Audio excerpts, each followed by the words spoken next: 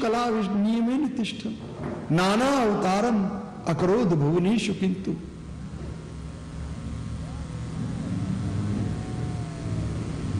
ये अनंत ब्रह्मांडों में अनंत अवतार आते अयोध्यापति राम जैसे।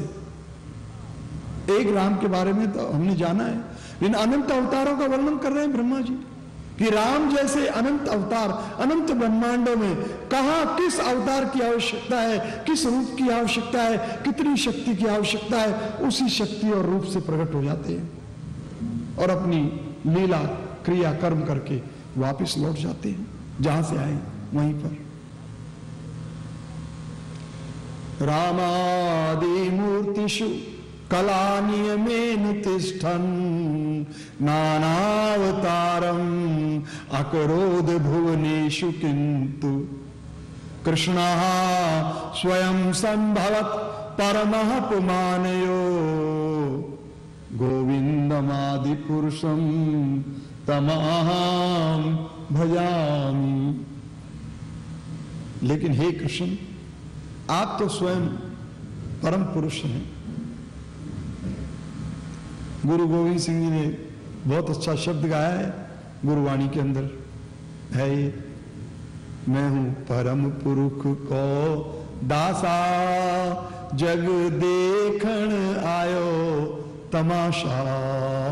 मैं हूँ परक परम पुरुष को दासा।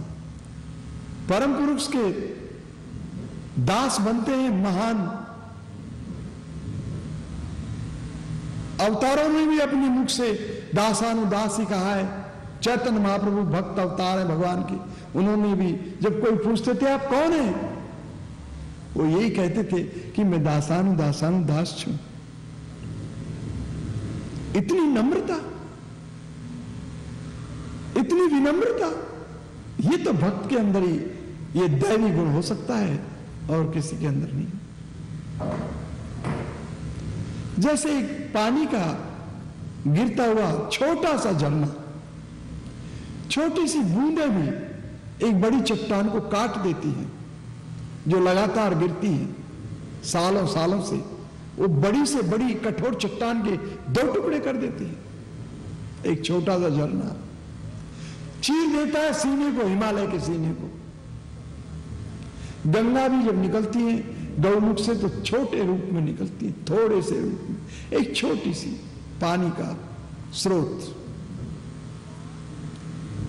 तो मार्ग में अनेक दिशाओं से दूसरी दूसरी जल स्रोत मिलकर एक विशाल गंगा हरिद्वार में, ऋषिकेश में देखने को मिलती है।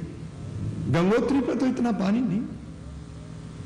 लेकिन वो छोटी सी धार हिमालय के सीने को चीर के इतनी गहराइयों से और खाइया बनाती हुई घाटियाँ बनाती हुई नीचे आ जाती है ज़मीन पर। पानी इतना नाजुक है, चट्टान इतनी कठोर है। नम्रता में बहुत पावर है। विशेष पावर है। भगवान श्री कृष्ण परम पिता परमेश्वर हैं, आदि पुरुष हैं। उनके ऊपर कोई नहीं है। सब उनके नीचे है। चैतन्य महाप्रभु जी ने कहा है, और शास्त्रों में इसका वर्णन है, एक लोग कृष्ण और सब वृत्त। एकमात्र कृष्ण ही भगवान है, और सब तो उनके नौकर हैं। वृत्त मानी नौकर, असिस्टेंट, आज्ञाकारी, चाहे महाविष्णु हो, चाहे क्षीरोदक्षय विष्णु हो, गर्भोदक्षय विष्णु हो शंकर भोलेनाथ हो संकर्षण हो, अनिरुद्ध प्रद्युम्न हो, वासुदेव, उनके विस्तार स्वरूप से, देवता हो, इंद्र हो, चंद्र हो, सूर्य हो, ब्रह्मा हो, अनंत ब्रह्मा, अनंत ब्रह्मांडों में, सब उनके सर्वेंट आज्ञाकारी। वो सबके कारण है। संकर्षण से मूल मूल संकर्षण से ही अनंत ब्रह्मांडों में अनंत शिव प्रकट होते हैं, जो अपने अपने ब्रह्मांड की प्रलय करने के शक्ति युक्त हैं। अनंत ब्रह्मांडों की जब महाप्रलय होती है, महा महाप्रलय, तब तो शंकर भगवान दूर हट जाते हैं। संकर्षण से ही प्रलय होती है। मूल संकर्षण ही ये माँ अनंत ब्रह्मांडों की प्रलय करने का पावर रखते हैं। वो मूल संकर्षण बलराम जी के अगले एक विस्तार है, प्रकाश है एक्सपेंशन है। बलराम जी स्वयं कृष्ण के, भगवान श्री कृष्ण के प्रथम प्रकाश है। भगवान से जो चतुर्व्यूह निकलते हैं, संकर्षण, प्रद्युम्न, अनिरुद्ध, वासुदेव, ये भी भगवान के विस्तार है। नारायण को घेर के बैठते हैं चतुर्व्यूह नारायण भी भगवान श्री कृष्ण के द्वितीय स्वरूप है, जो चतुर्भुज में है। गदा, पद्म, शंख, चक्र धारण किए हैं।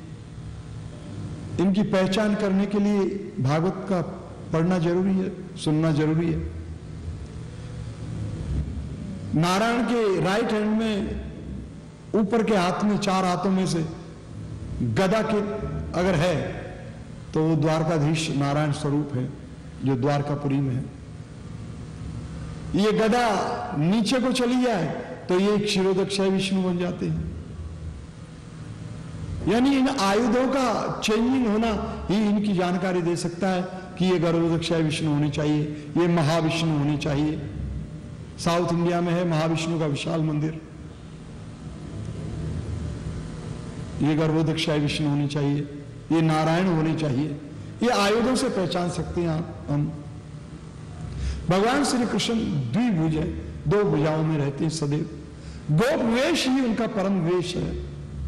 गोप बालक के रूप में श्याम सुंदर, अतुलनीय, अद्वैत, परम पुरुष,